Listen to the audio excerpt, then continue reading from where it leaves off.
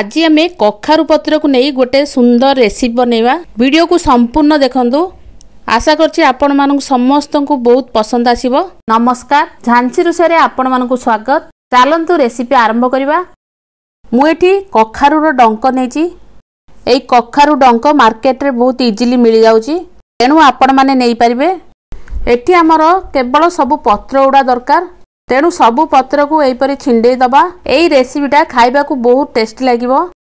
ତେଣୁ ଭିଡ଼ିଓଟିକୁ ନିଶ୍ଚିତ ଶେଷ ପର୍ଯ୍ୟନ୍ତ ଦେଖନ୍ତୁ। ଏଠି ମୁଁ ସବୁ ପତ୍ରକୁ ଛିଡ଼େଇ ଏଇ ଡଙ୍କକୁ ଏବେ ବନେଇବିନି କେବଳ ଆଜି ମୁଁ ପତ୍ରରେ ବନେଇବି। ଡଙ୍କକୁ ରଖିଦେବା ପରେ ୟୁଜ୍ କରିବା।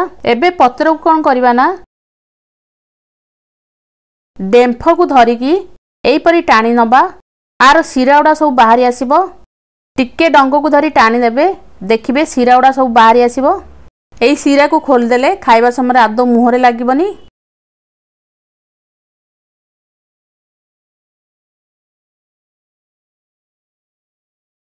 ଏଠି ମୁଁ ସବୁ ଶିରା ଗୁଡ଼ା ଖୋଲିଦେଲି। ପତ୍ରକୁ ଭଲ ଭାବରେ ଧୋଇଦେବା ତାପରେ ଏହାକୁ ବନେଇବା। ଏହିପରି ଭାବରେ ମୁଁ ସବୁ ଶିରାକୁ ଖୋଲିଦେଲି। ଆକୁ ଆମେ ଫିଙ୍ଗିଦେବା। ଏଠାରେ ମୁଁ ଗୋଟେ କଟୋରୀ ଅରୁଆ ଚାଉଳ ନେଇଛି ଓଜନରେ ଦେଢ଼ଶହ ଗ୍ରାମ ହେବ। ଏଇ ମୁଠାରେ ଦେଖିଲେ ଚାରି ମୁଠା ହେବ ଏଠାରେ ମୁଁ ବୁଟ ଡାଲି ବା ଚଣା ଡାଲି ନେଇଛି ଏହିପରି ମୁଠାରେ ତିନି ମୁଠା ଆଉ ଓଜନରେ ଶହେ ଗ୍ରାମ ହେବ। ଆକୁ ଆମେ ପ୍ରଥମେ ଦୁଇରୁ ତିନି ଘଣ୍ଟା ଭଲ ଭାବରେ ବତୁରି ଦେବା। ଏଠି ଦେଖନ୍ତୁ ମୁଁ ଚାଉଳ ଏବଂ ଡାଲିକି ତିନି ଚାରି ଘଣ୍ଟା ହେଲା ବତୁରି ଦେଇଥିଲି। ଏହା ଭଲ ଭାବରେ ବତିରି ଯାଇଛି। ଏବେ ଆମେ ଆକୁ ଅଲଗା ଅଲଗା କରି ପେଶିବା ତେଣୁ ଡାଲିକୁ ଜାରେ ପ୍ରଥମେ ଦେଇଦେବା।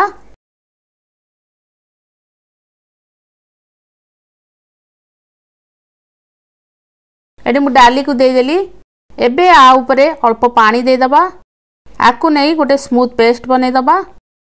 ଏଠି ଦେଖନ୍ତୁ ଆମର ଡାଲିର ପେଷ୍ଟଟା ରେଡ଼ି ହେଇଗଲା। ଆକୁ ବାଉଲକୁ ଦେଇଦେବା। ଏହିପରି ଭାବରେ ମୋଟା କରିକି ଟିକେ ଡାଲିକୁ ପେଶିବେ ଏଠି ଦେଖନ୍ତୁ ମୁଁ ଭଲ ଭାବରେ ଚାଉଳକୁ ପେଶିଦେଲି ଆକୁ ଏଇ ବାଉଲକୁ ଦେଇଦେବା। ସବୁକୁ ଭଲ ଭାବରେ ଏବେ ମିଶାଇଦେବା। ଏଠି ଆପଣମାନେ ବେଟରକୁ ବେଶୀ ପତଳା କରିବେନି। ନହେଲେ ରେସିପିଟା ଆଦୌ ବନିବନି। ଏଠି ମୁଁ ଦୁଇଟା କଞ୍ଚା ଲଙ୍କା ନେଇଛି ଦେବା। ତା ସହ ରସୁଣ ଦଶ ବାର କଲି ନେଇଛି ଦେଇଦେବା। ଏହାକୁ ଭଲ ଭାବରେ ଛେଚିଦେବା ୟାକୁ ଆମେ ଚାଉଳ କିମ୍ବା ଡାଲି ସହ ଭଲ ଭାବରେ ପେଶି ପାରିଥାନ୍ତେ। ହେଲେ ପେଶିଲେ ଆର ଟେଷ୍ଟଟା ଆଦୌ ଭଲ ଆସିନଥାନ୍ତା। ସେଥିପାଇଁ ମୁଁ ଆକୁ ଛେଚିକି ନେଉଛି ଏହିପରି ଛେଚିକି ଦେଲେ ଆର ଟେଷ୍ଟଟା ବହୁତ ଭଲ ଆସିବ।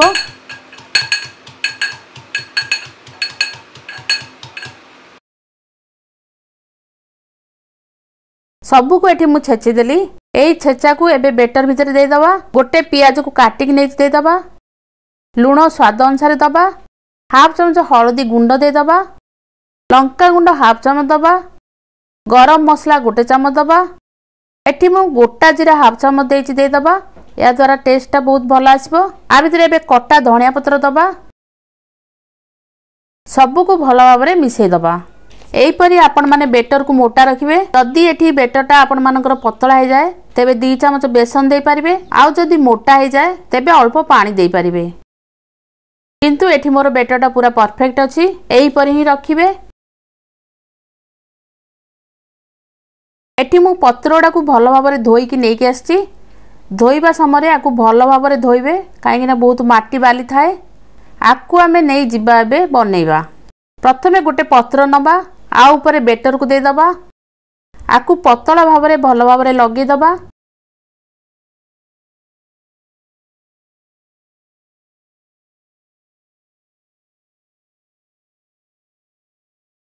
ଏଠି ମୁଁ ଗୋଟେ ପତ୍ର ଲଗେଇଦେଲି।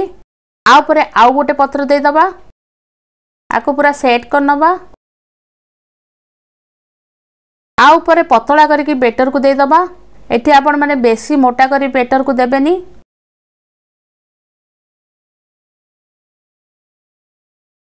ଏବେ ଆଉ ଗୋଟେ ପତ୍ର ଦେଇଦେବା। ଆ ଉପରେ ମଧ୍ୟ ବେଟରକୁ ଦେଇଦେବା। ଏଠାରେ ମୁଁ ତିନିଟା ପତ୍ର ଥରକରେ ନେଉଛି। ଆପଣମାନେ ଚାରିଟା ପତ୍ର କିମ୍ବା ପାଞ୍ଚଟା ପତ୍ର ନେଇ ମଧ୍ୟ ବନେଇ ପାରିବେ। ଏବେ କ'ଣ କରିବା ନା ଆକୁ ଟାଇଟ୍ ଭାବରେ ଭଲ କି ଫୋଲ୍ଡ କରିଦେବା।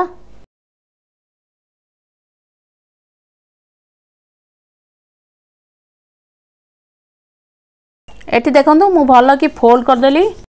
ଆକୁ ମୁଁ ଦୁଇ ପ୍ରକାର ବନେଇବି। ତେଣୁ ଆପଣମାନେ ଭିଡ଼ିଓଟିକୁ ଦେଖନ୍ତୁ। ଏହି ପତ୍ରକୁ ମୁଁ ଡାଇରେକ୍ଟ କାଟିକି ବନେଇବି। ଆଉ ଗୋଟେ ମୁଁ ଷ୍ଟିମ୍ରେ ବନେଇବି। ତେଣୁ କ'ଣ କରିବା ଭିଡ଼ିଓଟିକୁ ଦେଖନ୍ତୁ।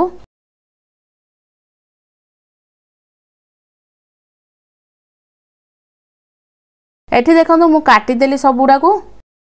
ଏଠି ଆମର ହାତରେ ପିଠଉଟା ଲାଗୁଛି କିନ୍ତୁ ଆକୁ ଆମେ ତାୱାରେ ଦେଇଦେଲେ ଏହା ପୁରା ଟାଇଟ୍ ହେଇଯିବ। କିଛି ବି ହେବନି ପ୍ରୋବ୍ଲେମ୍ ଆକୁ ଆମେ ଏହିପରି ଡାଇରେକ୍ଟ ବନେଇବା ଦେଖନ୍ତୁ ଏଠି ମୁଁ ଆଉ ଗୋଟେକୁ ଫୋଲ୍ଡ କରିଦେଇଛି ଆକୁ ଏବେ ପ୍ଲେଟ୍କୁ ଦେଇଦେବା ଆକୁ ମୁଁ ସିଝେଇକି ବନେଇବି ତେଣୁ କଡ଼େଇରେ ପାଣି କିଛି ଦେଇଦେଇଛି ପାଣିଟା ଫୁଟିଗଲାଣି ଆଉ ଉପରେ ଗୋଟେ ଷ୍ଟାଣ୍ଡ ରଖିଦେବା ଏବେ ଆ ଉପରେ ପ୍ଲେଟ୍କୁ ରଖିଦେବା ଆକୁ ଢାଙ୍କିକି ମାତ୍ର ଦଶ ମିନିଟ୍ ସିଝିବାକୁ ଦେବା ଏଠାରେ ଆମେ ପତ୍ରକୁ ଫ୍ରାଏ କରିବା ତେଣୁ ସୋରିଷ ତେଲ ଗୋଟେ ଚାମଚ ଦେଇଦେବା ତେଲକୁ ତାୱାରେ ସବୁଆଡ଼େ ଲଗାଇଦେବା। ଏବେ ଆ ଭିତରେ ସବୁ ବରାକୁ ଦେବା।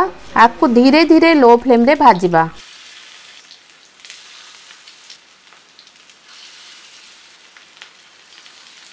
ଏଠି ଦେଖନ୍ତୁ ଦେବାର ଦୁଇ ମିନିଟ୍ ହେଇଗଲାଣି।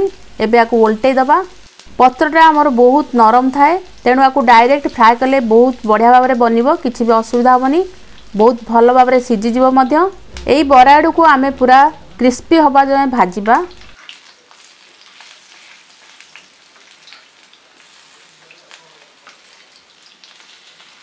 ଦେଖିପାରୁଥିବେ ବରା ଗୁଡ଼ାର କଲର୍ ସବୁ ଚେଞ୍ଜ ହୋଇଗଲାଣି।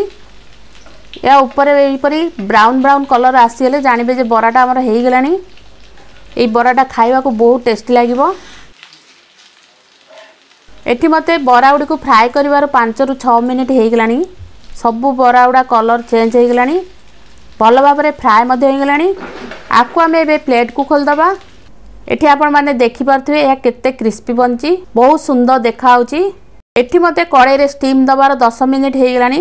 ଆକୁ ଏବେ ଟିକେ ଥଣ୍ଡା କରିଦେବା। ତାପରେ ଆକୁ ବନେଇବା। ଏଠି ଆମର ପତ୍ରଟା ଭଲ ଭାବରେ ସିଝି ଯାଇଛି। ଆପଣମାନେ ଆକୁ ଏହିପରି ଚାରିରୁ ପାଞ୍ଚ ଦିନ ରଖିପାରିବେ। ଯେତେବେଳେ ଆପଣମାନଙ୍କୁ ଇଚ୍ଛା ହେବ କାଟିକି ଆକୁ ଫ୍ରାଏ କରିକି ଖାଇପାରିବେ। ମୁଁ ଆକୁ ଏବେ ବନେଇବି ତେଣୁ ଆକୁ ପ୍ରଥମେ କାଟିଦେବା। ଏଠି ମୁଁ ସବୁକୁ ପତଳା ପତଳା କରି କାଟିଦେଲି। ଆକୁ ନେଇ ଏବେ ଫ୍ରାଏ କରିବା। ତାୱାରେ ତେଲ ଗରମ ହେଇଗଲାଣି। ଆ ଭିତରେ ଏବେ ବରାଉଡ଼ିକୁ ଦେଇଦେବା। ଏଇ ବରାଉଡ଼ିକୁ ଲୋ ଟୁ ମିଡ଼ିୟମ୍ ଫ୍ଲେମ୍ରେ ଧୀରେ ଧୀରେ ଫ୍ରାଏ କରିବା। ଏଠି ଦୁଇ ମିନିଟ୍ ହେଇଗଲାଣି ଆକୁ ରଖିବାର। ଏବେ ଆକୁ ଓଲଟେଇ ଦେବା। ଭିଡ଼ିଓଟି ଭଲ ଲାଗିଲେ ନିଶ୍ଚିତ ଗୋଟେ ଲାଇକ୍ କରିବେ। ଯଦି ଏପର୍ଯ୍ୟନ୍ତ ଚ୍ୟାନେଲକୁ ସବସ୍କ୍ରାଇବ୍ କରିନାହାନ୍ତି ପ୍ଲିଜ୍ ସବସ୍କ୍ରାଇବ୍ କରିନିଅନ୍ତୁ। ଭିଡ଼ିଓଟି ଭଲ ଲାଗିଲେ ଫ୍ରେଣ୍ଡ ଏବଂ ରିଲେଟିଭ୍ ସହ ସେୟାର କରନ୍ତୁ। ବେଲ୍ ଆଇକନ୍ରେ ମଧ୍ୟ ପ୍ରେସ୍ କରିନିଅନ୍ତୁ ମୁଁ ଯାହା ବି ନ୍ୟୁ ଭିଡ଼ିଓ ଅପଲୋଡ଼୍ କରିବି ତା ନୋଟିଫିକେସନ୍ ଆପଣମାନେ ପ୍ରଥମେ ପାଇପାରିବେ। ଏଠି ଦେଖନ୍ତୁ ଆମର ବରାଗୁଡ଼ା ବହୁତ ଭଲ ଭାବରେ ସବୁ ଫ୍ରାଏ ହେଇଗଲାଣି। ଆକୁ ଆମେ ଏବେ ପ୍ଲେଟ୍କୁ ଖୋଲିଦେବା। ଏଠାରେ ଆମର ବିନା ଷ୍ଟିମ୍ରେ ବରା ଗୁଡ଼ିକ ରେଡ଼ି ହେଇଗଲା। ଏହା ବହୁତ କ୍ରିସ୍ପି ବଞ୍ଚି ତା ସହ ବହୁତ ସୁନ୍ଦର ଦେଖାହେଉଛି। ମୁଁ ଗୋଟେ ଦେଖାଉଛି। ଆର ଆବାଜ ଶୁଣନ୍ତୁ। ଏହା କେତେ କ୍ରିସ୍ପି ବଞ୍ଚି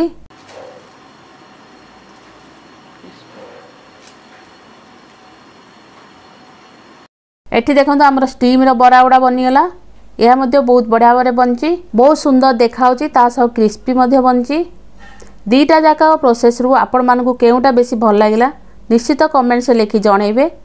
ଭିଡ଼ିଓଟିକୁ ସମ୍ପୂର୍ଣ୍ଣ ଦେଖିଥିବାରୁ ଆପଣମାନଙ୍କୁ ବହୁତ ବହୁତ ଧନ୍ୟବାଦ।